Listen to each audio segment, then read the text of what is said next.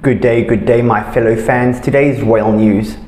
Prince Harry allegedly said some hurtful things about Princess Catherine in his and Meghan Markle's upcoming Netflix docu-series that he wanted to remove, but it is already too late. The streaming giant is reportedly pushing through with the release of the series in December at a still unspecified date after filming wrapped up months ago. In it, the Duke and Duchess of Sussex allegedly did not hold back in their criticism of the royal family, including direct family members King Charles, Queen Consort Camilla, Prince William, and even his wife, the Princess of Wales. Meghan and Harry have been in their own little bubble in the US, where they were encouraged by producers to tell the world exactly what they were thinking about the royals. After all, that's what's going to sell, a source said.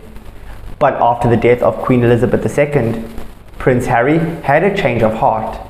He saw footage of the docu-series and is now having second thoughts about what it should contain. The insider claimed that the Duke of Sussex immediately started to worry he had misread the room. He allegedly begged to reshoot some scenes, especially those that contained less flattering comments he and Meghan Markle made about Catherine. The 38-year-old reportedly saw some of the footage and with some clarity after his grandmother's funeral, felt bad that Catherine was being dragged into it again.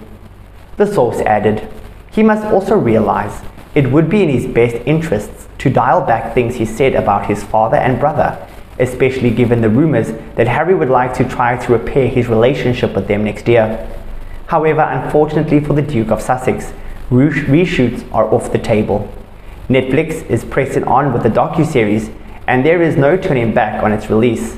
A Hollywood source said that the streaming giant invested $150 million in the Sussexes two years ago, and they want their money's worth.